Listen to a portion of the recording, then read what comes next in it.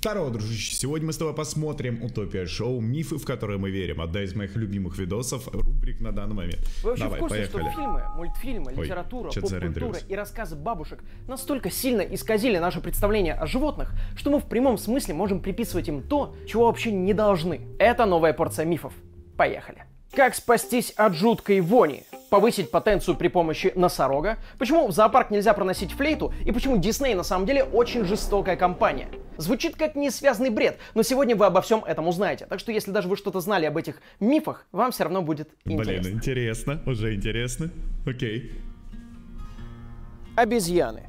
С чем они ассоциируются? Ха. Не знаю, как у вас, но мне всегда они Да со мной, я ж сам еще та свинья. или- ассоциировались с бананами. Дайте-ка подумать. Ах да, ведь именно это нам всегда и показывали. Да. Так, только не говори, что они не едят бананы.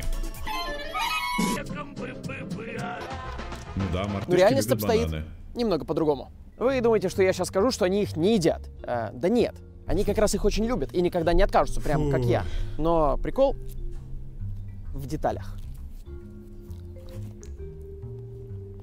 Бля, только аппетитно Еще в есть скотина, я тоже теперь 1936 хочу. году был проведен эксперимент, чтобы понять, какая еда больше всего привлекает обезьянок. И бананы всегда были на втором Вот это людям делать нехер, скажи. третьем месте. На первом всегда был виноград. Но и это не самое главное. Тут написано, что большинство людей подумало бы, что обезьяны больше всего любят орехи. Серьезно? Хоть кто-нибудь в современном мире будет представлять обезьяну, которая ест орехи? Ну а да. все потому, что в те времена, судя по Белки. всему, еще не было такой ассоциации с бананами. Ведь эта связь — дело рук человека. Да, я вам уже говорил, что банан был культивирован еще очень и очень давно. Раньше он был с огромными костями внутри, и есть его было попросту нельзя. Чего? Фу.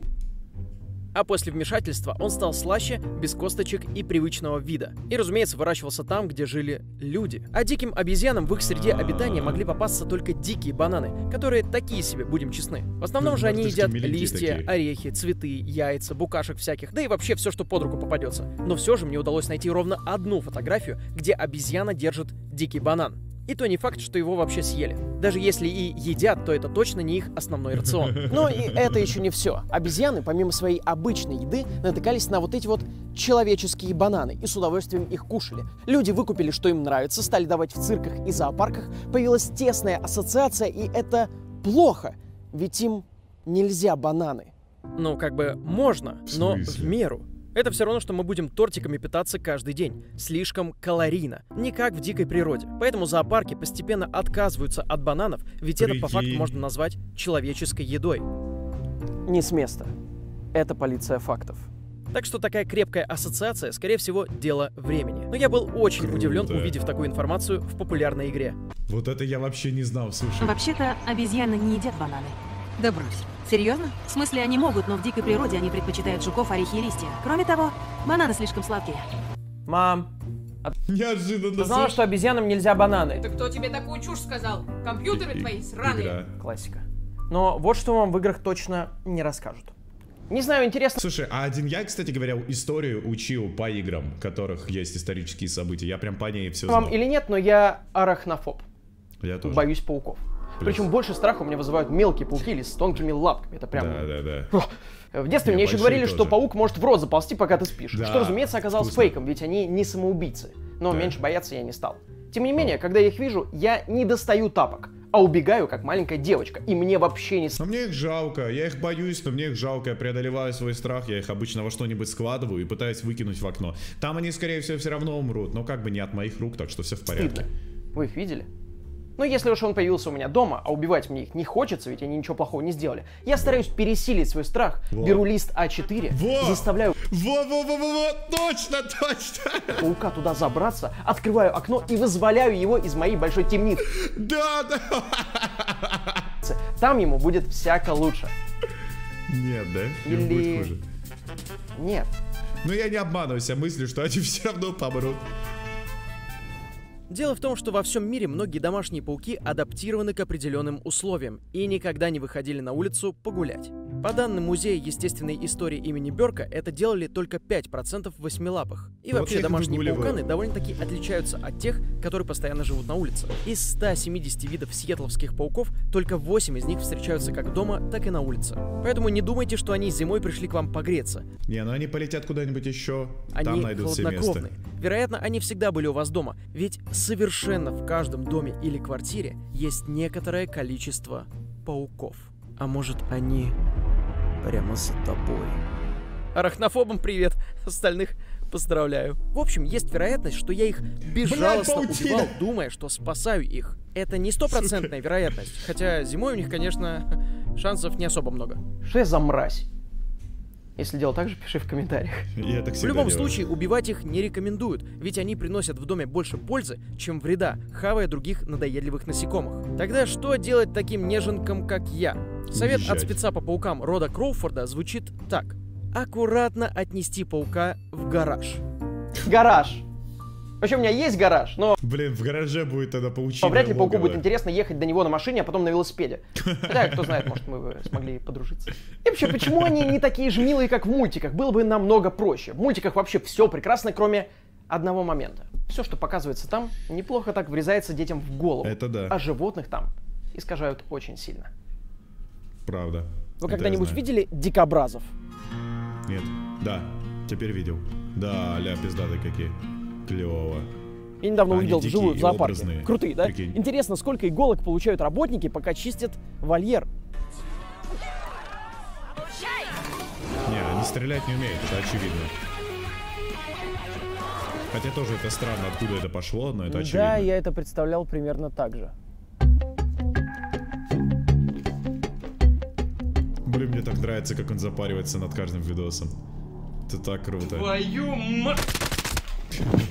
Но дикобразы, к сожалению, не умеют стрелять иголками. И не осуждайте меня за то, что Почему, к сожалению, к я счастью? тоже так думал. Ведь недопонимание началось еще давно.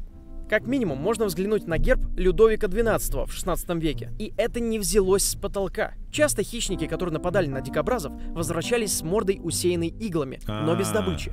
Ну, значит, подстрелили. Бывает. Но в реальности это не так. Дикобраз тот еще Они панк, и ему пытаются. плевать на этих кошек. Если ему надо пройти, он пройдет. А если кто-то помешает, то он с радостью подставит свои лохматые булочки и будет ими размахивать, как бы атакуя. А так как огромные иглы дикобраза держатся не очень крепко, то они просто остаются в теле нападающего. Все просто. И хоть они не ядовитые, но всякая грязь на иголках вполне может вызвать заражение. И было достаточно много случаев, когда львы и другие хищники погибали в этой схватке. Их подкололи, если вы понимаете, о чем я. Ха. А вообще, 1 апреля, вот, наверное, дикобраз будет самым главным жителем всего на свете. с точки зрения физики, метание иголок было бы невозможным. Ведь э, нет стабилизации, сами иголки очень легкие. Факт Прикольно. очевидный? Ладно, но вы точно не знали следующего.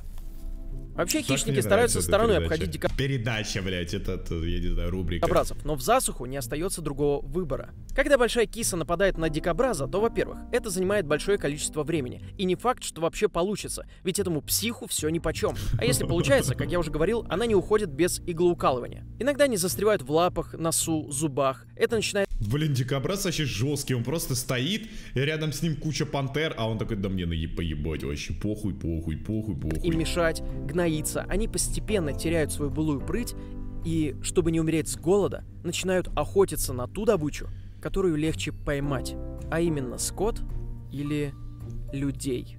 Вот это да! Исследования говорят нам, что в некоторых случаях людоедства львы были поражены иголками достаточно сильно, что почти наверняка спровоцировало нападение на людей. Фотографии найдете в документе. Кто бы мог подумать, что это вообще связано? Мораль тут простая. Не шутите с этими дикими панками. Ну да. О, кстати, взгляните на этот скелет. Угадайте, что это за животное? Это Корова. носорог. Блин. А где рог? Я стесняюсь спросить. А его рог это не кость, а вообще отдельная штука, которая состоит из кератина и напоминает склеенные волокна, что вы можете видеть на этом снимке. То есть это здоровенный волосяной хер на лбу? Из этого же состоят наши волосы и наши ногти, например. Ногтирог. Наверное, можно сказать, что это хорошо зализанный хайер, но никак не кость. Но этот рок на черном рынке стоит десятки, если не сотни тысяч долларов. Так а он Поэтому придурков-браконьеров не останавливает даже зоопарк. Они все равно могут вломиться, убить животное и отпилить рог. Из-за этого носорог вообще близок А. к вымиранию, кстати. А знаете, из-за чего такой спрос? Вы не поверите! Традиционная Волосы. китайская медицина. А, ну, конечно, китайцы. Ну, конечно, китайцы. А что же еще делать? Не путать с доказательной медициной. В общем, еще до хрена лет назад рог носорога измельчали и использовали в качестве лекарства от лихорадки, головных болей, болей от артрита и даже... одержимости дьяволом. И Доктор, доктор, дочь заражена дьяволом. Сейчас носорогу уебем рог, на нахуй, сейчас все. на дуде и грец. Такое вот разностороннее лекарство. Разумеется, исследования, которые пытались это повторить, говорят о том, что это чушь собачья. И вы спросите, разве для того, чтобы теоретически головную боль вылечить, нужно убивать носорогов? А все куда серьезнее. Когда дело доходит до традиционной медицины, никто разбираться не планирует. Если сказано, что лечило тысячи лет назад, значит лечит и сейчас. Быстро купи. Поэтому СМИ каким-то образом смогли распространить, что рог носорога лечит рак. Что, согласитесь, намного серьезнее. А также выступает как афродизиак. Знаете, что это такое? А, вещества, стимулирующие или усиливающие половое влечение или А, половую нет, неправильно. активность. Не знаю. На самом деле в китайской медицине этого не было. Но механизм был запущен, черный рынок, огромный спрос, безумный ущерб популяции, а все ради чего? Чтобы какого-то богача хобот наконец встал. А хотя по-хорошему он просто А, мог ногти погрызть. Одна херня.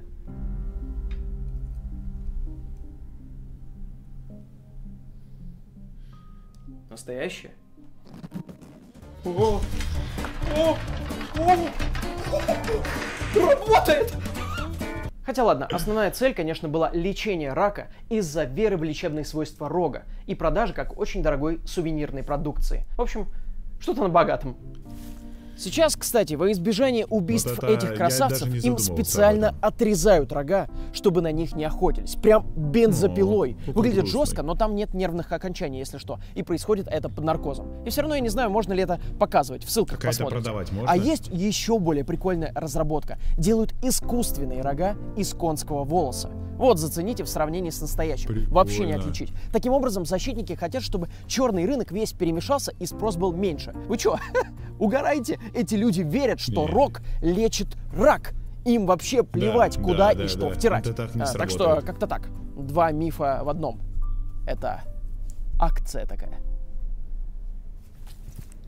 А сейчас будет достаточно ужасный миф. Вы знаете, кто такие лемминги? Грызуны, обитающие в Арктике и в тундровых зонах. Которые Я выпры- точно помню, что в детстве узнал о них из мультика «Утиные истории». И там был Да, момент, да, да, когда да, да. лемминги массово прыгали со Да, скалы. да, да, да. Ну, мультик и мультик, скажут многие. Но что, Не, если я скажу, что это делают. на самом деле заговор студии Дисней? Звучит как бред! Но смотрите, поверье, что лемминги массово умирают, прыгая со скалы, появилось еще очень давно. В научном журнале 1877 года говорится об этом. Потом это подхватывают писатели и так далее. В 1958 году Дисней выпускает документальный фильм. Да, они не только мультики тогда делали, где показывают, что лемминги прыгают со скалы и погибают. Это не анимация. Это реальная жизнь. Их толкали Все просто. оказалось куда ужаснее. Все это снималось в месте, где лемминги не живут. Их закупили в другом месте и привезли на съемки. И лемминги на самом деле не прыгают со скалы. Их столкнули.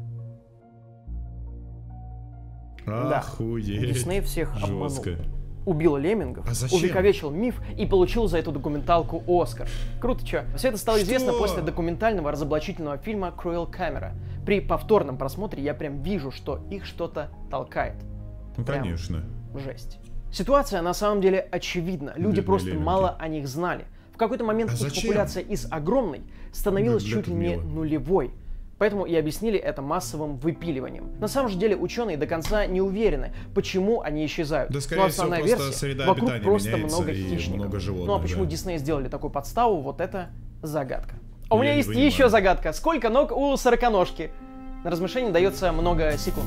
Очевидно, что у нее не 40 ног. 17? Но самое занимательное, 100? что в других странах ее называют вот так. Что с латинского да. означает 100 ног. Или вот уже другие, которые в переводе тысяча ног. Но все они тоже были неправы. У них вообще Просто нет определенного количества ног, а рекордным было всего 750. Откуда взялась цифра 40, я не знаю, скорее всего, просто на слух хорошо ложится. Но даже у домашней сороконожки их Стоножка. 30 всего.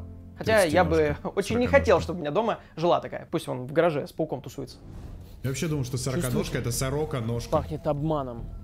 А это означает только одно. Мы недалеко от скунса. Вы когда-нибудь задумывались, А, почему в зоопарках скунсы под защитным стеклом? На самом деле это специальное наностекло, которое служит барьером от жуткой вони, которая находится всего в 5 сантиметрах от носа неправда, да? Ученые называют это скунс-камера. Поговаривают, что некоторые работники даже падали в обморок. А еще ходят легенды, что я все это выдумал. Да. Что скунсы не работают тоже? Да ладно! Сколько ты моих этих детских поверований убиваешь, козлина? Да Фильмы ладно. и мультфильмы показали нам, что скунсы воняют, а встреча с ними грозит распылением вонючего газа. И все это неверно.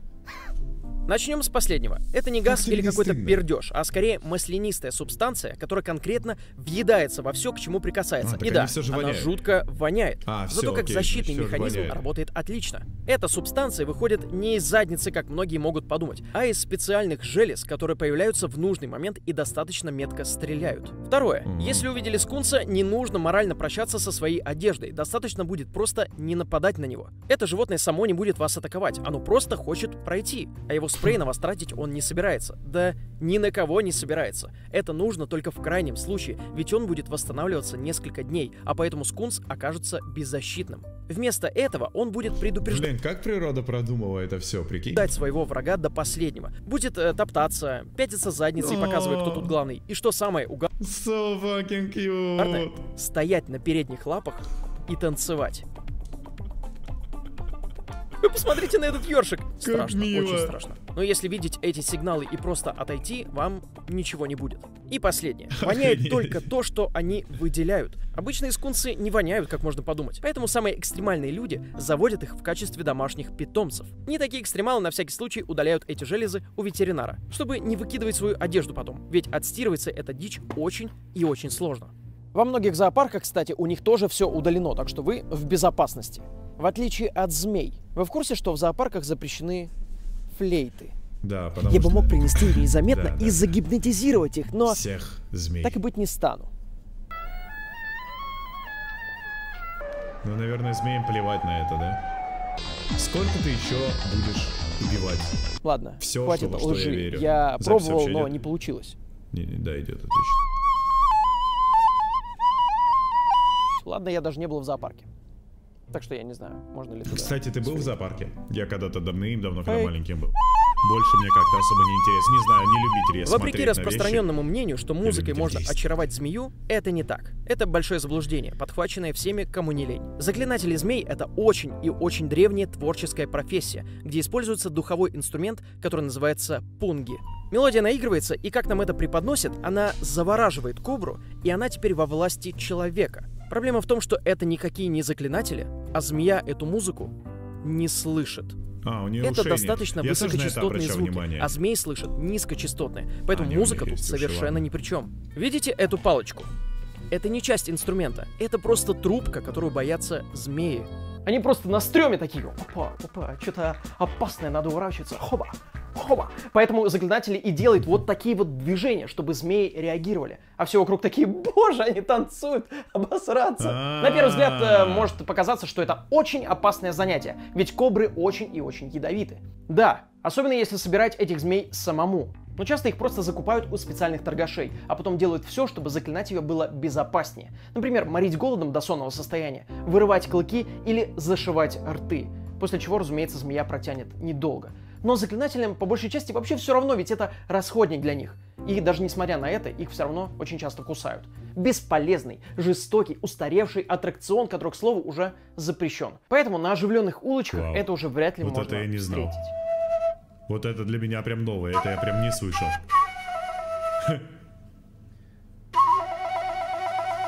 Получается утопия змея. Понятно. Какие чарующие звуки. А где я? Ожидаю рекламу. Ты в лучшем месте. Тут все то же самое, что и в обычном мире, только намного дешевле. Ожидаю Всегда мечтал рекламу. после смерти Да, попасть да, в да, да. Алиэкспресс. Ладно. Ты не умер, ты просто устал. Блин, как круто. Устал Вот переплачивать. за этого неуважение. Ой. Тофи, как всегда, крут. Не знаю, видосы его прям бальзам для души. Я надеюсь, тебе тоже понравилось. Если хочешь посмотреть рекламу, зайди на оригинал. Вот, а пока на этом все. Я надеюсь, тебе понравилось. Подписывайся на канал, оставляй свои комментарии. Увидимся уже в следующий раз. А пока на этом все. Всем пока. До скорого. Удачи.